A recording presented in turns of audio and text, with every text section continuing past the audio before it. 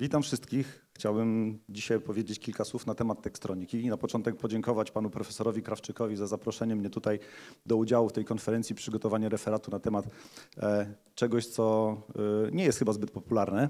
E, przynajmniej nie pojawia się to jakoś specjalnie często w mediach, w internecie. Nie mówi się o tym zbyt często. Otóż dzisiaj powiemy sobie kilka słów na temat tekstroniki. Może zacznijmy od tego, czym jest tekstronika w ogóle. E, nie wiem, czy wszyscy Państwo się spotkali z tym pojęciem. E, więc generalnie tekstronika to jest mm, pojęcie powstałe ze złączenia trzech e, słów. Przede wszystkim tekstylia, czyli materiały, elektronika i informatyka.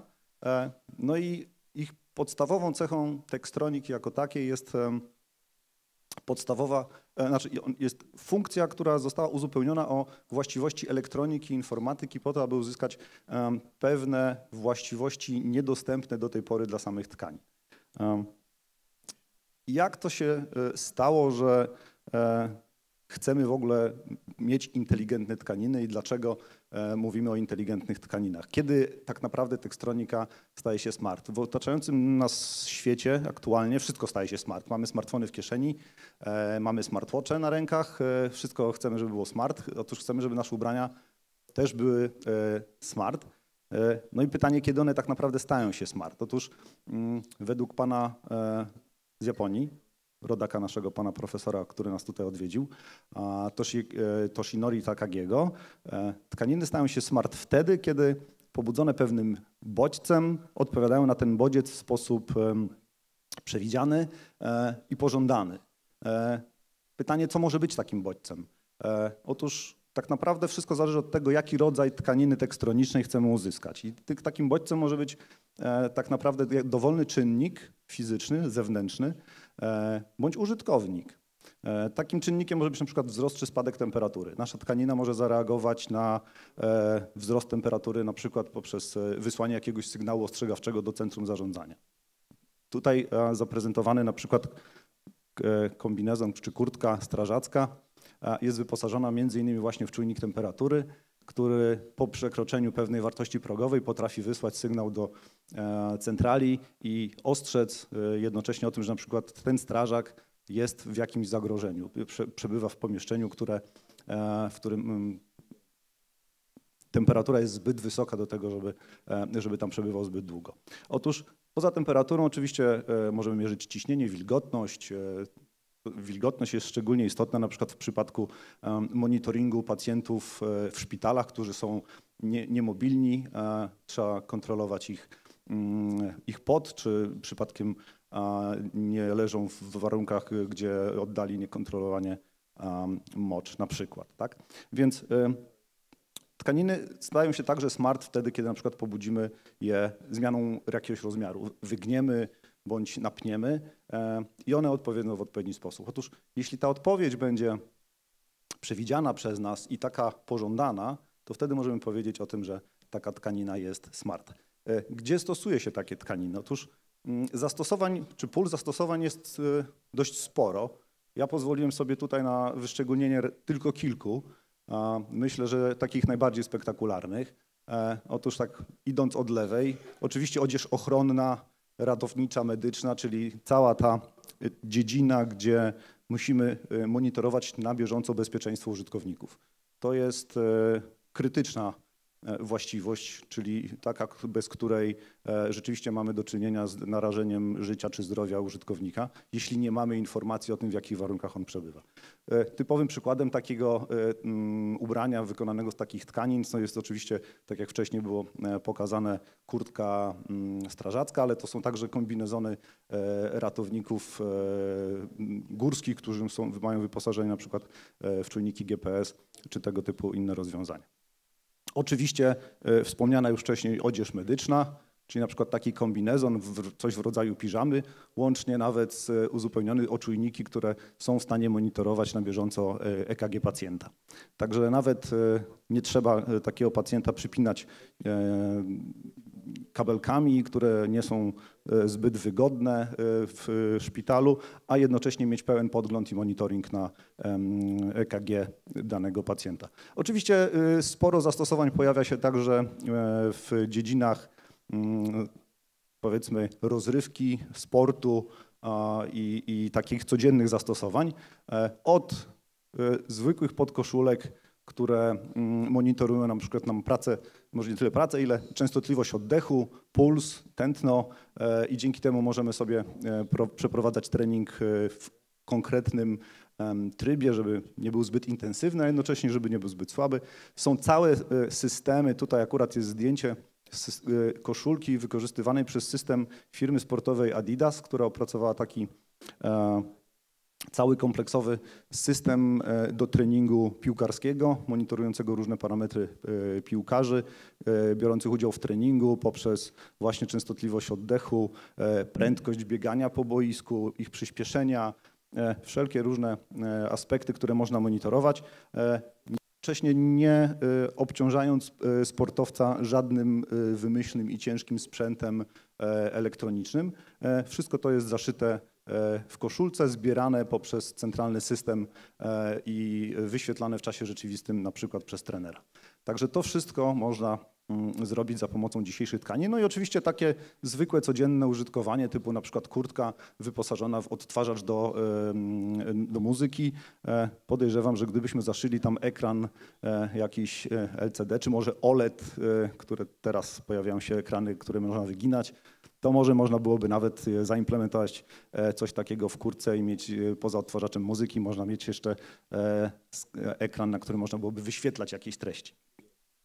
A wszystko to ładnie wygląda i dobrze brzmi, ale e, przez to e, nakłada pewne wymagania na, na te tkaniny, z których, e, używa, z których później wykonywane są takie wyroby tekstroniczne. Przede wszystkim mm, takimi podstawowymi cechami, którymi się muszą te tkaniny charakteryzować, no to jest ich wytrzymałość na wszelkiego rodzaju niekorzystne czynniki zewnętrzne. Tak? Czyli na przykład e, na początek wszelkiego rodzaju urażenia, mechaniczne, rozdarcia, nie wiem, e, rozciągnięcia e, zbyt duże, tak? czyli coś, co powoduje jakieś uszkodzenie tego, takiej tkaniny no, powinno zostać wyeliminowane poprzez e, zastosowanie takich własności w tej tkaninie, żeby nie, nie doszło e, do takich, e, do takich zmian. Oczywiście odporność na wilgoć. Wszyscy wiemy, że koszulkę po treningu trzeba wyprać. Na pewno wszyscy wiemy, że koszulkę po treningu trzeba wyprać. No i ona niestety musi tą, to pranie przeżyć.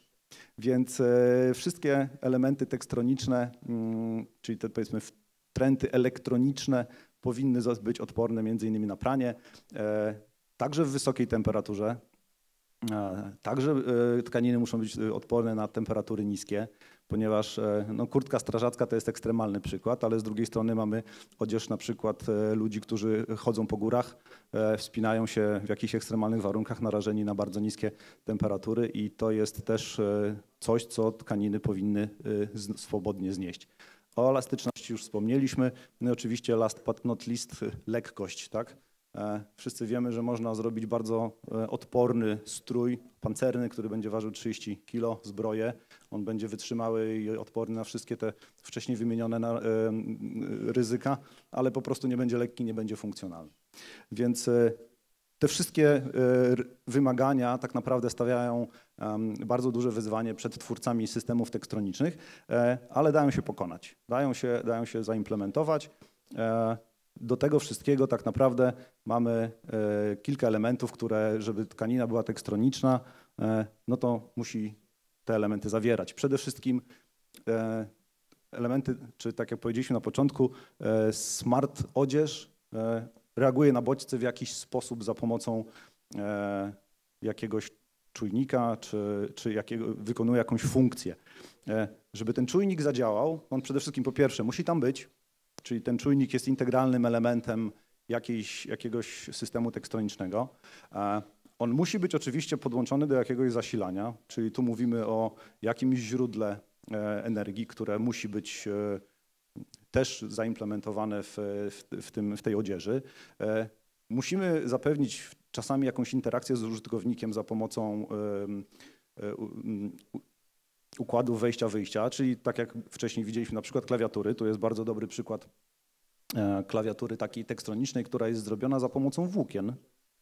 To nie jest elektronika w sensu stricte taka krzemowa, to są, e, oprócz może tego kawałka na dole oczywiście, tak? Natomiast sama klawiatura jest zrobiona e, z e, włókien o odpowiednich właściwościach, które pozwalają na przewodnictwo. No i oczywiście, jeśli mówimy o odzieży, która ma się komunikować na zewnątrz, potrzebujemy anten nadawczo-odbiorczych, mm, choćby od najprostszych takich, gdzie mamy do czynienia z czujnikiem GPS, który tylko i wyłącznie będzie odbierał sygnał, nie będzie, nie, ta antena nic nie będzie nadawać, po e, dość skomplikowane systemy, które, e, których możemy używać w systemach GSM, UMTS czy, czy LTE, a tak jak już wcześniej padło, 5G zbliża się wielkimi krokami. W jaki sposób implementuje się tą elektronikę w odzież? Otóż jest kilka sposobów. Taką najfajniejszą z punktu widzenia użytkownika, najlepszą, jest e, integracja taka kompletna z tkaniną, czyli wykorzystanie elementów włóknistych, e, czyli takich, które będą zupełnie zintegrowane i praktycznie niewidoczne albo będą przypominały tkaninę w jak, w jak najbardziej e, naturalny sposób. Tak? Czyli tu mamy do czynienia na przykład z tymi włóknistymi czujnikami czy, czy z włóknistymi aktywatorami różnych funkcji. To wszystko jest e, bardzo użyteczne. Problem jest jeszcze tylko taki, że wysoka e, cena niestety hamuje póki co rozwój tego, tego typu e, rozwiązań tekstronicznych. W związku z tym, ponieważ zapotrzebowanie jakby na rynku na tego typu rozwiązania jest, trzeba było sobie poradzić jakoś inaczej. Tak? Więc drugim takim dość wygodnym sposobem na pokonanie tego problemu jest tak zwana printed electronics czyli e, nadrukujemy na płytki mm, e, odpowiednie, e, to w bardzo podobny sposób, jak robi się to na płytkach krzemowych. Nadrukowuje się pewne półprzewodniki na tkaniny. Dzięki tym półprzewodnikom można przesłać odpowiednie sygnały bądź prąd zasila, zasilić e, pewne e, układy tekstroniczne, e, co nam daje dużą elastyczność, nie jest tak drogie i skomplikowane jak powiedzmy ta część, kiedy wszystko staje się z włókien. No i dzięki temu te układy tekstroniczne mają rzeczywiście funkcjonalność praktycznie taką, taką samą jak, jak te wcześniej. Kolejnymi dwoma sposobami są już takie sposoby troszeczkę integracji z elektroniką, nazwijmy to twardą i sztywną, czyli wykorzystanie układów takich typowo krzemowych na płytkach, E, zaszytych gdzieś w kieszeniach, niedostępnych e, dla, e, dla użytkownika takiego, żeby tam nie, nie wykonać jakiegoś zwarcia, nie dotknąć, nie zniszczyć. Świetnie się to sprawdza, ponieważ system integracji jest bardzo duży. Można tam zintegrować naprawdę układy o mm, bardzo skomplikowanych E, że tak powiem, algorytmach, tam można zaszyć dość mocne procesory. E, elektronika tego typu jest bardzo, e, bardzo popularna, natomiast niekoniecznie sprawdza się w takich układach tekstronicznych, jakie byśmy chcieli, czyli nie daje nam tej elastyczności i wolności jako użytkownika.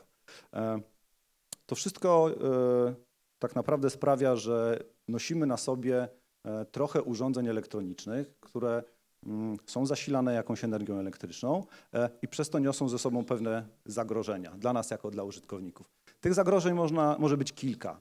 Ja pozwoliłem sobie na wyróżnienie e, trzech z nich. Pierwsza, pierwsze z tych zagrożeń jest tak naprawdę związane z przepływem prądu.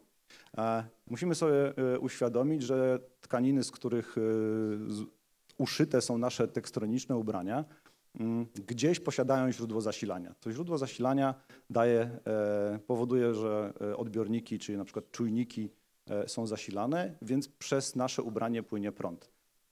Jak, jak dbamy o przepływ prądu, może się skończyć różnie. Może się skończyć poparzeniem, może się skończyć bólem. O leczeniu bólu już dzisiaj żeśmy trochę usłyszeli od pani profesor Siereń. Więc trzeba się przed tym bronić. Drugim e, generalnym zagrożeniem jest w ogóle istnienie tego źródła zasilania, szczególnie e, wtedy, kiedy ono jest słabej jakości. E, każdy z nas na pewno spotkał się kiedyś z czymś takim jak wylana bateria. Akumulatory, które są, nie wiem, stare albo słabej jakości, potrafią a, tak naprawdę zostać zniszczone i, i ten, to, swoją zawartość wylać, wylać na zewnątrz, co nie jest pożądane w tej sytuacji, kiedy takie źródło zasilania jest blisko skóry. Może dojść do różnych poparzeń chemicznych, może dojść w przypadku jakiegoś wewnętrznego zwarcia do, do niekontrolowanego wybuchu takiego akumulatora. Wszyscy wiemy, jak eksperymenty z cienkimi bateriami w Samsungach się skończyły. Gdybyśmy mieli takie same źródła w koszulkach, to mogłoby być pewnie nieciekawie. E, no i oczywiście to, co nas interesuje tutaj na naszej konferencji, to jest emisja promieniowania elektromagnetycznego, e, z którym e, wiąże się oczywiście kilka zagrożeń. Przede wszystkim efekt cieplny, który jest spowodowany samą emisją poprzez antenę nadawczą, wytworzenie prądów wirowych w tkankach, które są blisko, znajdują się blisko anteny, być może ponadnormatywna ekspozycja na pole elektromagnetyczne, no i być może jakiś niepożądany wpływ biologiczny, którego jeszcze nie, nie, znamy, który badamy. E, no i mam nadzieję, że w tym obszarze też się pojawią na pewno jakieś opracowania, które pozwolą nam na e, wymyślenie i, e, i produkcję zupełnie bezpiecznych systemów tekstronicznych. Są oczywiście metody, żeby mm, bronić się przed tymi wszystkimi zagrożeniami. Jeśli chodzi o przepływ prądu w tych tkaninach, to tak naprawdę stosuje się właśnie przede wszystkim e, włókniste przewody o e, obniżonej rezystancji. Prąd w związku z tym, który płynie tam jest bardzo niewielki, e, mierzony w rzędu miliamperów. Oczywiście on nie jest w stanie zasilić wszystkich potrzebnych odbiorników, więc nie wykorzystuje się go do tych najbardziej prądożernych, nazwijmy to, zastosowań, typu utrzymanie temperatury, gdzie trzeba użytkownika czasami podgrzać, a czasami schłodzić ale wykorzystuje się e, tego typu rozwiązania na przykład przy zasilaniu e, niewielkich czujników czy układów pomiarowych. W e, rozwiązania takich, które wymagają więcej prądu, stosuje się oczywiście kable izolowane o niewielkich przekrojach, giętkie, w związku z tym też niewyczuwalne przez, przez użytkownika, no i w ten sposób izolując przewody elektryczne od ciała zapewniamy bezpieczeństwo. Z drugiej strony mamy jakość źródła zasilania, czyli tą baterię czy akumulator wspomniany wcześniej. Aktualnie mamy e, dość dobrze rozpoznany obszar e, akumulatorów litowo-jonowych. E, one są znane, czy literowo-polimerowych. One są znane, znamy ich technologię, stosujemy powszechnie w różnych urządzeniach, łącznie z różnymi zabezpieczeniami przeciwprzypięciowymi, żeby, żeby tam się nic nie stało. No ale mimo to i tak poszukujemy innych źródeł energii, więc Wiadomo, że wszystkie takie y, akumulatory należy ładować. Chodzi o to, żeby też między innymi wydłużyć czas pomiędzy ładowaniami, a y, ubrania y, te tekstroniczne służyły nam jak najdłużej i nie musiały być ładowane codziennie. Więc Stosuje się na przykład różne hybrydowe układy, które wykorzystują e, elementy bazujące na przemianie energii na przykład mechanicznej w elektryczną e, bądź e, zjawisko fotoelektryczne. Bardzo fajnym rozwiązaniem jest wykorzystanie piezoelektroniki w podeszwie buta, Spotkałem się z czymś takim, gdzie rzeczywiście w bucie jest e, odpowiedni system, e, który kabelkiem przesyła nam, e, ładuje nam baterię i, i w ten sposób może nam mm, przedłużyć czas pomiędzy, pomiędzy ładowaniami. No ale oczywiście to, co nas interesuje najbardziej, to są zagrożenia związane z PEM-ami. No i tutaj też mamy kilka metod do obrony. Tak? Przede wszystkim Projektujemy anteny o takiej charakterystyce, która będzie nam e, zapewniała komunikację na zewnątrz, a nie promieniowała wewnątrz, do wewnątrz, czyli do ciała. E, czyli tutaj stoi wyzwanie tak naprawdę e, przed projektantami anten. Staramy się, aby emisje, które zachodzą w tym systemie, były na jak najniższym poziomie. Stosujemy tak naprawdę różne, różnego rodzaju sposoby transmisji danych od dość popularnego aktualnie Bluetootha po systemy 2G, 3G, 4G, niedługo 5G. E, no i dzięki temu, że 5G zbliża się wielkimi krokami, wykorzystujemy także inne, coraz inne zakresy fal elektromagnetycznych, e, które coraz krótsze tak naprawdę, które dzięki temu, że mają e, właśnie niewielką długość, nie powodują e, penetracji ciała, a tak naprawdę, jak słyszeliśmy dzisiaj w przedpołudniowej sesji, e, kończą się na, e, na skórze bądź nawet na naskórku. I w związku z tym nie niosą nam specjalnie zagrożenia, jeśli chodzi o jakieś efekty biologiczne, które po prostu przy tych częstotliwościach najprawdopodobniej nie występują. Jeśli mówimy o PEMach używanych w tekstronice, trzeba sobie powiedzieć o ich właściwościach PEMów jako takich. Całe promieniowanie elektromagnetyczne można scharakteryzować za pomocą powiedzmy kilku wartości. Bardzo to upraszczam, szczególnie w tym gronie oczywiście. E, natomiast e, warto sobie przypomnieć, że jeśli mówimy e, o właściwościach promieniowania elektromagnetycznego, to znaczy się, że mówimy o kilku podstawowych wielkościach. Taką jedną z podstawowych jest widmo, czyli jak to promieniowanie tak naprawdę wygląda, scharakteryzowane przez częstotliwość takiej fali elektromagnetycznej, szerokość pasma użytkowego, które używamy do komunikacji i rodzaj modulacji, na przykład w przypadku różnych systemów komórkowych, które także są zintegrowane czasami w odzieży tekstronicznej. Mamy do czynienia czy to z GSM, UTM-em, czy z UMTS-em, czy z LTE. W każdym z tych systemów tak naprawdę stosuje się inne modulacje. Także w ramach jednego systemu można stosować wiele różnych modulacji e, i to też jest coś, co warto wziąć pod uwagę. E, oczywiście ważną wielkością, która charakteryzuje to promieniowanie jest jego amplituda, zarówno w, e,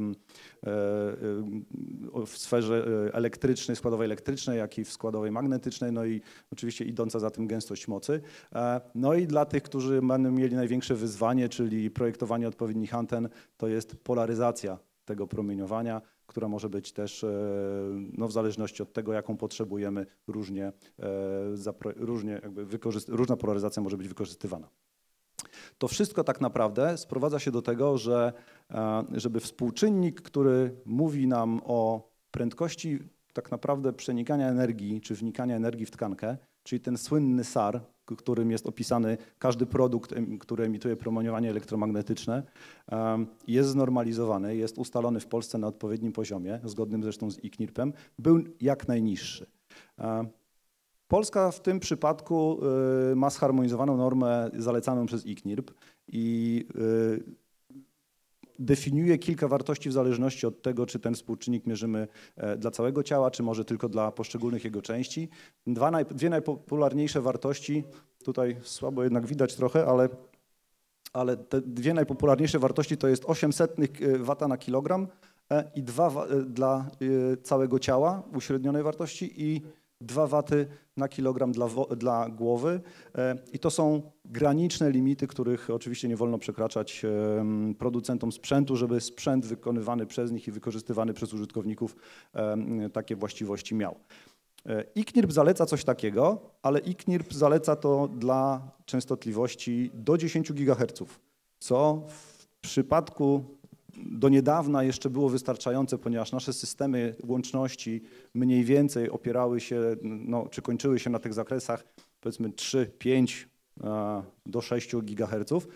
No ale w dobie e, szybko kroczącego 5G, gdzie mówimy o falach milimetrowych, które zaczynają się od 26 i wyżej, tak, e, będziemy mieli referat e, pana profesora Bieńkowskiego o 60 MHz, bardzo ciekawy, gigahercach, przepraszam, oczywiście, to e, nagle okazuje się, że zalecenia ICNIRP-u być może nie są do końca, e, no nie wiadomo, czy są prawidłowe, czy nie, ale nie opisują tej, tego zakresu.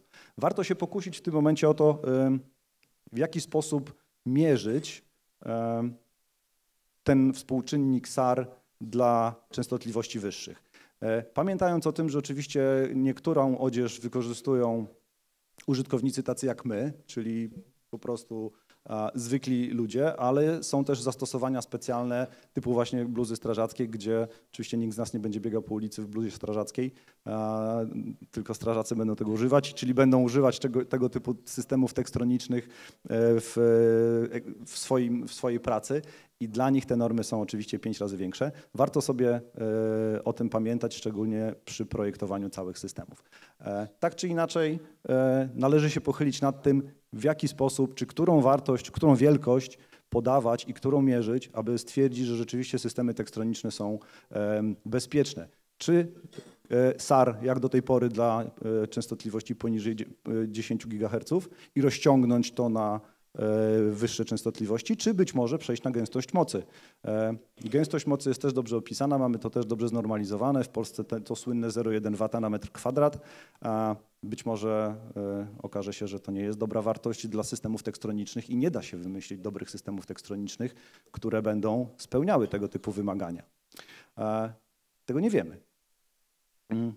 Kłopot jest w tym, że Trzeba to teraz w jakiś sposób określić i znormalizować. ICNIRP zaleca tą granicę na 10 GHz, e, więc e, mamy tutaj pewną e, niewiadomą, którą, o, o której rozwikłanie kilku naukowców już się pokusiło. Kłopot z SAR-em, z tym, współczynnikiem absorpcji swoistej SAR jest taki, że jest to wartość uśredniona. Dzisiaj od pana doktora z Instytutu słyszeliśmy, że średnia jest najgorszą możliwą wartością, która opisuje e, statystykę. Co prawda trochę w innym kontekście, ale trzeba się rzeczywiście z nim zgodzić. Średnia ma to do siebie, że ukrywa pewne wartości. Być może ukrywa coś, co, czego nie chcielibyśmy ukryć, e, a powinno być e, rzeczywiście pokazane.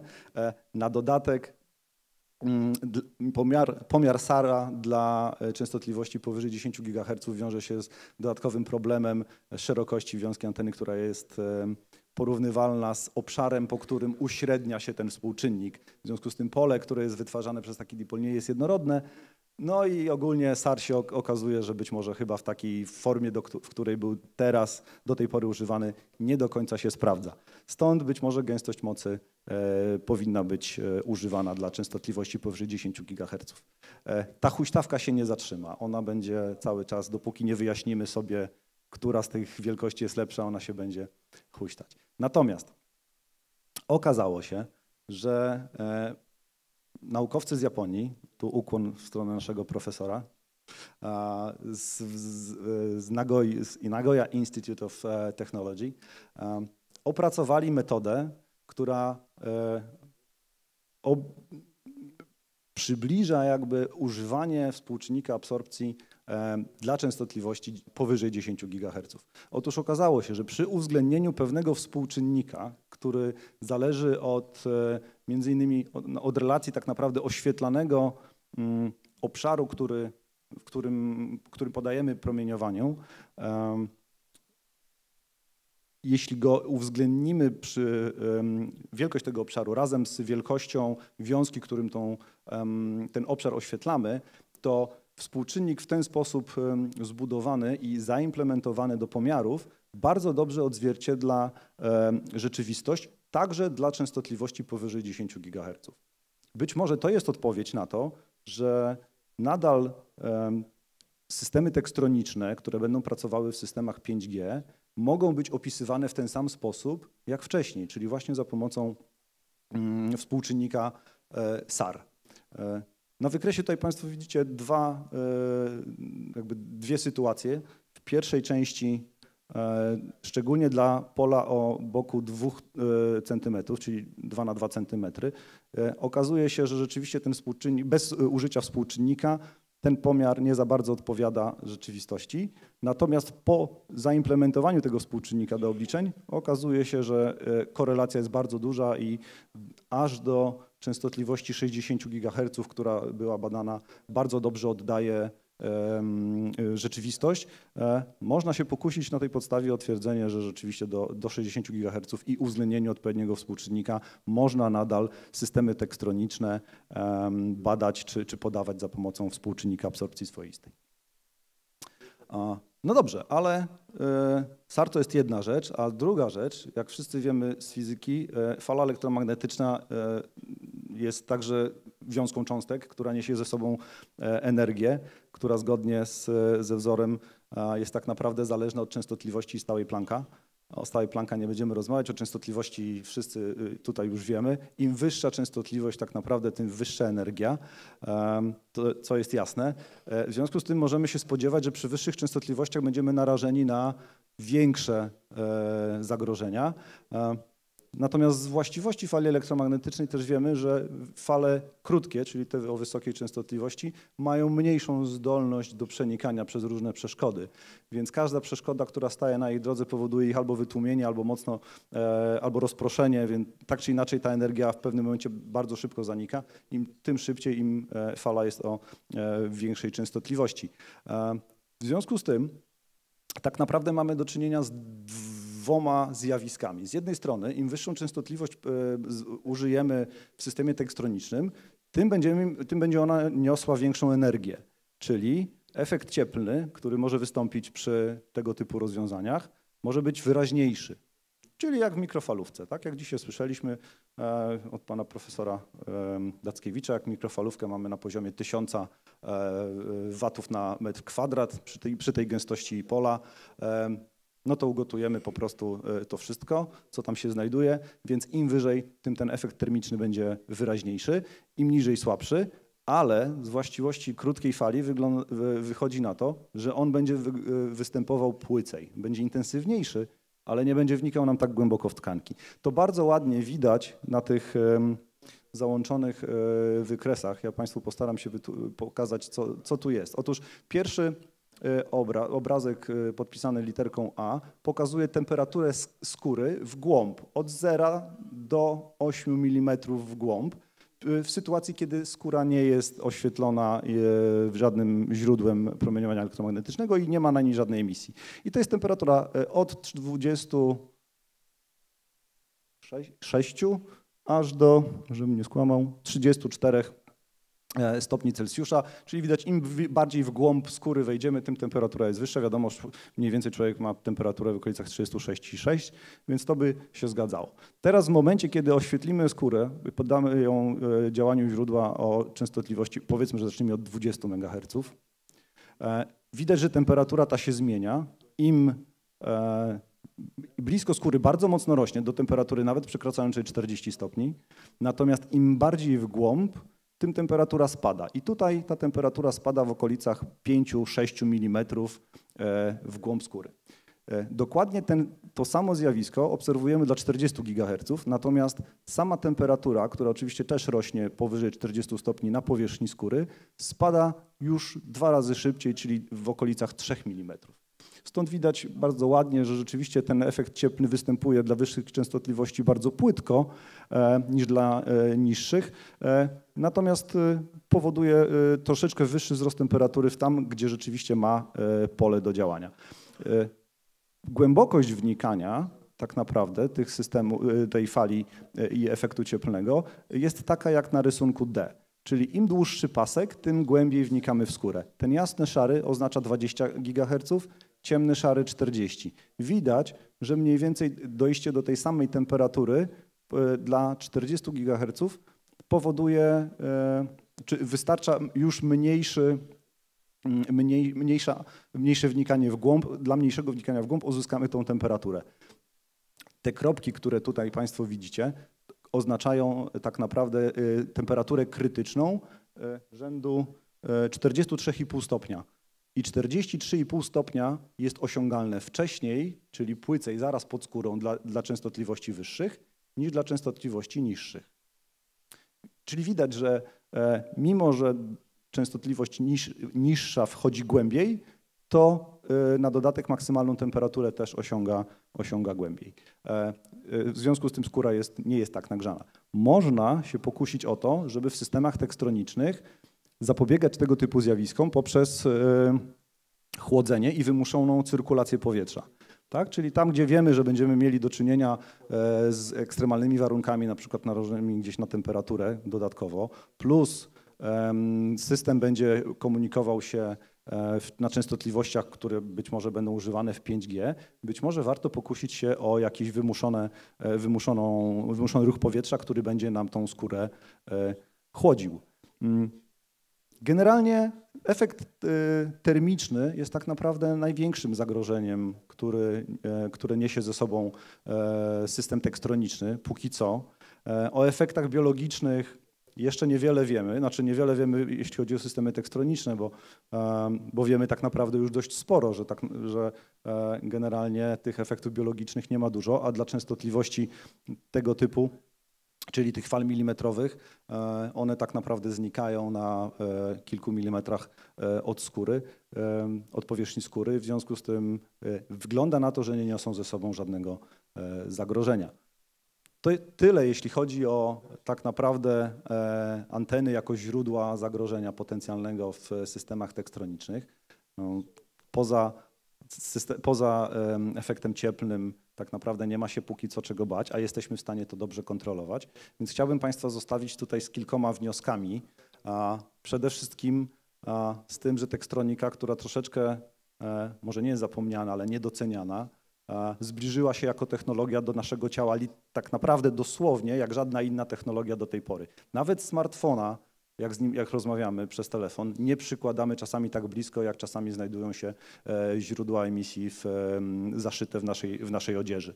E, po drugie, te systemy będą coraz bardziej inteligentne, będą wymagać coraz bardziej skomplikowanych systemów łączności, coraz bardziej niezawodnych. Mm, wczoraj na warsztacie ITU widzieliśmy mniej więcej, jak wygląda wizja systemów 5G. Wygląda na to, że z stacjami bazowymi będziemy mieli na, e, do czynienia dosłownie co kilkadziesiąt metrów. Może się okazać, że nasze, nasza odzież będzie się z tymi stacjami e, komunikować w przeróżny sposób i wymieniać różnego typu informacje, więc e, tak naprawdę będą to coraz bardziej inteligentne wyroby tekstylne. No i dzięki temu, że to 5G wchodzi, te zakresy częstotliwości, które się pojawiają, coraz wyższe, wydają się też idealne do tego, żeby je w tych systemach tekstronicznych wykorzystywać, ponieważ e, mają odpowiednio dobry zasięg, a jednocześnie nie powodują specjalnych zagrożeń, jeśli chodzi o ich używanie i wpływ na, na nasz organizm. E, aktualne badania wykazują, że e, te limity, które mamy teraz ustawione, są bezpieczne, zarówno nasze polskie, jak i limity, które zaleca ICNIRP oraz pozostałe e, szanowne gremia. Mm.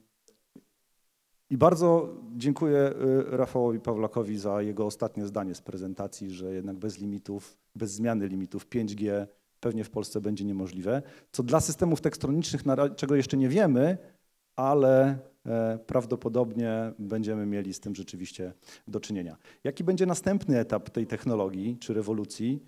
E, nie wiemy. Internet of Organs e, już jest za progiem, tak? Chipy podskórne powoli tak. Wtedy nie będziemy mówić o efekcie termicznym na skórze, tylko będziemy mówić o jakichś efektach, których jeszcze tak naprawdę nie jesteśmy w stanie nawet opisać. Zobaczymy, co przyniesie przyszłość. A tym razem dziękuję Państwu za uwagę. Mam nadzieję, że nie nudziłem za bardzo i zmieściłem się w czasie. Prawie. Dobrze. E, jeśli są jakieś pytania, zapraszam. Proszę, może, może tu pan. E, Łukasz Januszkiewicz, Politechnika Łódzka. Ja się troszkę zajmuję antenami tekstylnymi, stąd moje pytania. Wiem. Pierwsze pytanie. Dlaczego mówi pan, że antena promieniuje? Mnie się wydaje, że dopiero antena podłączona do nadajnika promieniuje. E, o, oczywiście, skrót myślowy, tak. Tak, tylko ten skrót jest daleko idący. Gdyby mógł pan podać przedostatni slajd. Przedostatni. E, tutaj Pan nas informuje, że w różnych miejscach ciała, e, w różnych zakresach częstotliwości temperatura może wynieść 43 stopnie albo 42. Przy jakim założeniu poziomu mocy z nadajnika? E, w systemach tekstronicznych fundamentalne ograniczenie to jest moc dysponowana w nadajniku ze względu na bardzo mały zasób energii w baterii. Tak jest. Trudno mi sobie wyobrazić noszony mały system, który e, pokusiłby się o wykorzystanie po stronie nadawczej, noszonej po stronie e, użytkownika, taką ilość energii, żeby podgrzać skórę do 40 paru stopni. Zgadzam się. Skąd są te dane? I drugie pytanie, jaka metodologia została wykorzystana do tych symulacji? Czy uwzględnił Pan tutaj równanie Penesa, czyli stabilizację temperatury ciała? Czy uwzględnił Pan nieliniowe właściwości tkanek? Nieliniową stratność, tak? Model call-call chociażby. Skąd się to wzięło? Już zaraz. Źródło oczywiście można podać, można tam dokładnie, e, dokładnie sprawdzić, w jaki sposób metodologia została e, przeprowadzona. E, z tego, z tego, co doczytałem, to może zacznę od końca. Z tego, co wyczytałem, nie było tam, to była tkanka, to był model w ogóle, w związku z tym to nie była żywa tkanka oczywiście. Natomiast jeśli chodzi o temperaturę i, i moc źródła, no to, e, to była moc, e, ona była podana po to, aby, znaczy dokładnie na, panu teraz nie odpowiem na temat poziomu, nie pamiętam, trzeba byłoby zajrzeć do źródła, natomiast tu nie chodziło o to, żeby zbadać wpływ mm, na czy temperaturę skóry, ile zobaczyć, w jaki sposób na modelowej tkance zmienia się rozkład temperatury w zależności od częstotliwości i jak głęboko, jak głęboko to wnika. Więc no i wykazać oczywiście różnicę pomiędzy y, dwoma, y, dwoma zakresami częstotliwości. Proszę. Wspomniał Pan, że efekty biologiczne przy y, tego typu technologii są pomijalne. Na jakiej podstawie pan tak sądzi? No. Dla- Dlaczego, pan nie, dlaczego nikt tutaj nie uwzględnia na przykład raportu bioinicjatywy, który jest oparty na podstawie prawie dwóch tysiącach badań, które szczegółowo omawiają wszystkie efekty biologiczne, wszystkie efekty, które zachodzą w komórkach organizmu żywego, wtedy, kiedy jeszcze nagrzewanie tkanek w ogóle nie następuje. I są one dramatyczne. E, Dlaczego Państwo to pomijacie? Wszystkie takie tematy są obok. Są bardzo ważne tematy. Jak norma biologiczna, którą należało, należałoby już wprowadzić Oczywiście i tak trudno dalej. się z Panią nie zgodzić, że to są ważne tematy. Natomiast, natomiast dostępna literatura naukowa, która jest uznana za wiarygodną, na razie nie opisuje i nie definiuje tych zjawisk biologicznych jako e, problem, który, który by występował na, na takiej skali. Tak? Jedynym efektem takim mierzalnym, powtarzalnym, który rzeczywiście da się em, opisać w dobry sposób, jest efekt termiczny dla, dla tego typu rozwiązań. W związku z tym to jest ten, e, to zagadnienie, na którym większość e, tutaj nauki skupia. Dziękuję.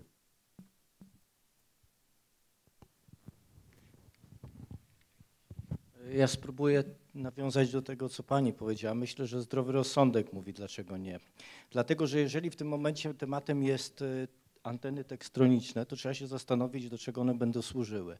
I w tym przypadku takim dobrym przykładem jest coś, co chyba najszybciej zostanie pojawi się. Przykładowo kurtka strażaka. No, mogę sobie wyobrazić. Albo na przykład odzież do, do, odzież do monitorowania. Tak naprawdę to mamy do czynienia tutaj z sytuacją, kiedy my internet rzeczy ubieramy na siebie i w tym momencie tu nie chodzi o to, że ta kurtka będzie z czujników dawała ciągły strumień jednego gigabita na sekundę. Ta kurtka stosunkowo mało informacji będzie wysyłała. Wysyłając mało informacji potrzebujemy mało energii, żeby było wysłane. Kolega zwrócił uwagę owszem na energię, ale to powiedział, że z racji tego, że jest HC przez lambda, to jest energia kwantu. Podkreślam energia kwantu, a nie energia sygnału, bo to są dwie różne rzeczy. Że w tym momencie owszem wyższe częstotliwości, wyższa energia, ale tak naprawdę energia zależy od tego, jak tak jak pan się tutaj dopytywał, jaka moc jest przyłożona. Więc jeżeli ja teraz muszę wysyłać bardzo niewielką ilość informacji, to ja nie potrzebuję tej dużej mocy przykładać. Jeżeli teraz takim, przy takim założeniu na siebie ubieram ten nadajnik i tą antenę, która promieniuje, to w tym momencie... Nadajnik promieniuje w antenę. Y, Trzymajmy się y, już tak, pra- na- prawidłowych. Antena promieniuje e, ten sygnał wysyłany przez nadajnik, to przy tak niewielkich mocach, tak potrzebnych e, do przesłania tej informacji, to możemy tylko się spytać, a jak głęboko ta fala wnika? No i tu widzimy, to są milimetry. I, e, I mówimy w tym momencie, jedyną rzeczą, która jest, to jest efekt termiczny i oczywiście uwzględniając to, co Pan e, tu podkreślał z, z Politechniki, że trzeba jeszcze uwzględnić, że jest obiekt, obieg e, krwi, w związku z tym rozpraszamy tę temperaturę. No i to jest chyba taką odpowiedzią na pytanie, dlaczego nie uwzględniamy. Bo ja myślę, jak już myśmy chcieli bardziej uwzględniać to, co Pani mówi, to ja bym się bardziej bał tego mojego, co teraz mam na sobie. Mianowicie mam marynarkę, w której leży tele, siedzi telefon i ten telefon jest tak samo blisko ciała i ten telefon w sobie w trybie, nazwijmy, kiedy nic nie robię, może przesyłać duże megabajty, na sek- odbierać sygnał lub wysyłać sygnał, w zależności co tam robił. Na przykład sobie synchronizuje i wysyła do chmury jakieś moje zdjęcie, które teraz zrobiłem. To jest znacznie bardziej, że tak powiem, energożerne e, z punktu widzenia e, sytuacji czy zjawiska niż to, co tutaj rozmawiamy.